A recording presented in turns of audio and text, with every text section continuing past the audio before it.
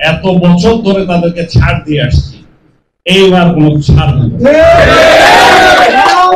এইবার হয় যদি তাদেরকে যদি এই দেশে থাকতে হয়, এই দেশকে মানতে হবে, বাংলাদেশকে মানতে হবে যুদ্ধকে মানতে হবে, সংবিধান মানতে হবে, পতাকা মানতে হবে। এইবারের নির্বাচনে আমরা একটাই সিদ্ধান্ত নিতে চাই, হয় ওরা থাকবে না আমরা।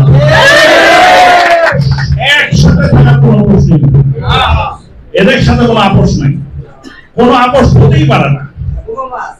আপনারা শুনলে অবাক হবেন। আপনারা মানে আমার কাছে আশ্চর্য লাগে, আপনারা একুশে অগস্ট ঘটনাটার কথা চিন্তা করেন।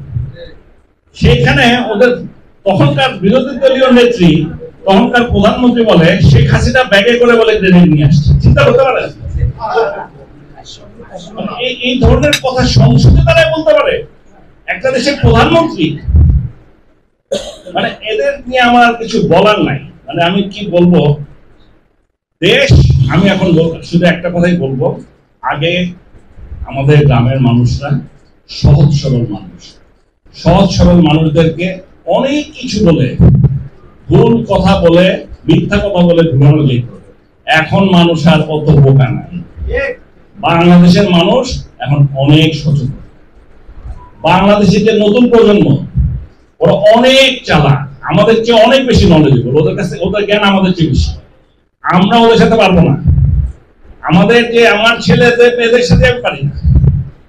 আমি কিছু বললে আমার দোতলা দেয় মানে এত ছোট ছোট বাচ্চারা, ওরা এত ওদের এখন নলেজ জ্ঞান, ওরা এত কিছু জানে ওরা যে আসলে এই নতুন প্রজন্মের কেউ ভুল পথে নিতে পারবে না সহজে। কারণ একটা কথা বললে ওরা বিশ্বাস করবে না। এখন আমাদের সিদ্ধান্ত হচ্ছে আমাদের কাছে একটাই প্রশ্ন। আমরা এই দেশকে যদি ভালোবাসি অবশ্যই আমরা ভালোবাসি। এটা আমাদের দেশ। আমরা স্বাধীন দেশ। আমরা আমাদের সংবিধান অনুযায়ী আমরা আমাদের দেশকে পরিচালিত করব। বঙ্গবন্ধুর আদর্শে আমরা দেশটাকে পরিচালিত করব। শেখ হাসিনার নেতৃত্বে আমরা দেশটাকে পরিচালিত করব। সেই জন্য আমাদের সকলকে ঐক্যবদ্ধ হতে হবে।